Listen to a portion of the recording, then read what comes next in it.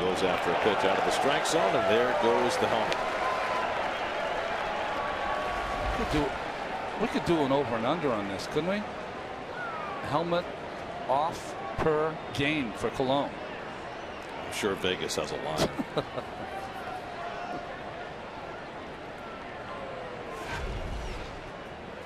Doesn't get cheated. That's the one thing.